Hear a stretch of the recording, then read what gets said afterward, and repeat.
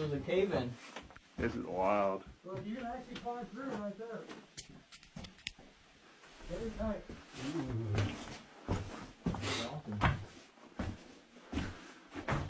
Shit.